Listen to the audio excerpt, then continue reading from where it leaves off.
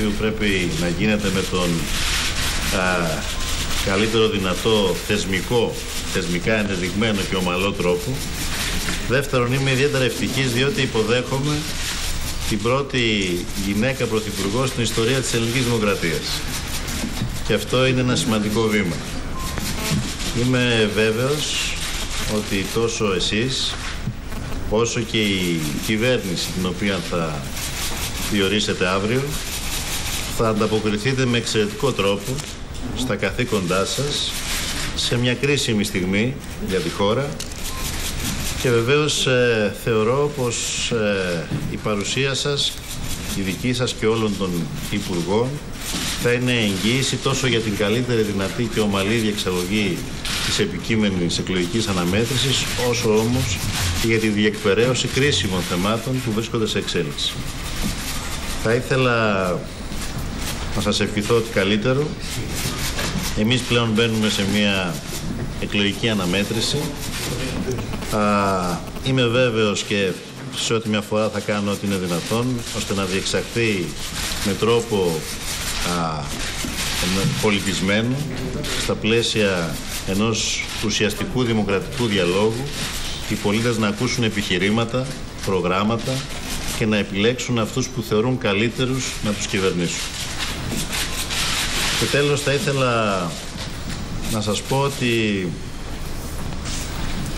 έχουμε μπροστά μας μια κρίσιμη μάχη. Τη μάχη να ανοικοδομήσουμε την οικονομία και να ξανασταθεί η χώρα στα πόδια της και τη μάχη μιας διαρκής ε, διαπραγμάτευσης, μιας διαρκούς διαπραγμάτευσης που είναι μπροστά μας, διότι μάθαμε μέχρι πρώτος ξέραμε ότι η συζήτηση για την απομείωση του χρέους α, θα γινόταν κάποια στιγμή μέχρι τέλος του χρόνου. Σήμερα από τον ε, κεφαλής του Ευρωπαϊκού Μηχανισμού Σταθερότητας, τον κύριο Ρέκλιν, μάθαμε ότι θα γίνει πιο μπροστά, ίσως και τον Οκτώβρη. Συνεπώς, α, νομίζω ότι η χώρα έχει μπροστά τις κρίσιμες αναμετρήσεις, αλλά και μια διαρκή προσπάθεια α, αναμέτρησης με τις δικές της αδυναμίες, τις οποίες οφείλουμε όλοι να βάλουμε ένα λιθαράκι για να ξεπεράσουμε. Στο διάστημα που θα είστε εδώ, είμαι απόλυτα βέβαιος ότι θα κάνετε ό,τι περνάει από το χέρι σας για να διασφαλίσετε τη σταθερότητα και την ομαλότητα. Σε ό,τι με αφορά θα είμαι πάντοτε στη διάθεσή σας και φαντάζομαι ότι το ίδιο α, θα κάνουν και όλοι οι πολιτικοί αρχηγοί, διότι α, έχετε καθήκον να συνεργάζεστε με όλους τους πολιτικούς αρχηγούς σε αυτή την κρίσιμη φάση. Και πάλι σας εύχομαι καλή δύναμη και συγχαρητήρια. Κύριε Πρόεδρε, ευχαριστώ θερμά που είχατε την ευαρέσκεια της παράδοσης των πρωθυπουργικών καθηκόντων. Ε, οι περιστάσεις εξελίχθηκαν έτσι, ώστε μέσα σε κρίσιμη περίοδο για τη χώρα μας να κληθώ να αναλάβω το τιμητικό βάρος της Πρωθυπουργίας της υπηρεσιακής κυβέρνησης προς διεξαγωγή των εκλογών όπως ορίζει το Σύνταγμα. Η υπηρεσιακή κυβέρνηση, οι αρμοδιότητες της υπηρεσιακής κυβέρνησης όπως είναι γνωστό ε, είναι κυρίως η διεξαγωγή των εκλογών κατά τρόπο αδιάβλητο και ομαλό.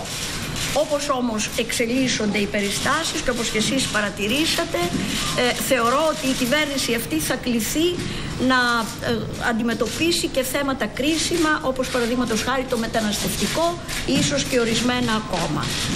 Ε, αμέσως στη συνέχεια θα έχω επαφή με όλους τους πολιτικούς αρχηγούς όλων των κομμάτων ε, ώστε η, συγκρότηση της υπηρεσιακής κυβέρνησης να είναι κατά το δυνατόν ευρύτερης αποδοχής όπως άλλωστε απαιτεί και το Σύνταγμα. Ε, η, η, η ελλειπής πολιτική εμπειρία την οποία εξάλλου δεν θα ήταν δυνατόν να έχω αφού επί μακρά σειρά ετών υπηρετώ τη δικαιοσύνη θεωρώ ότι θα μπορέσει να αναπληρωθεί από την ε, οριμότητα και την εμπειρία την οποία έχω από, την, αυτή, από αυτή τη μακρά εμπειρία. Θέλω να πιστεύω ότι διαθέτω αυτή τη, λόγω της μακράς εμπειρίας στην άσκηση των δικαστικών μου καθηκόντων. Τόσο προσωπικά όσο και όλα τα μέλη της υπηρεσιακής κυβέρνησης ε, θα κάνουμε τα μέγιστα, καταβάλουμε τις μέγιστες προσπάθειες ώστε κατά το δυνατόν να ανταποκριθούμε με τον καλύτερο και αποτελεσματικότερο τρόπο στα καθήκοντά μας. Ευχαριστώ. mais.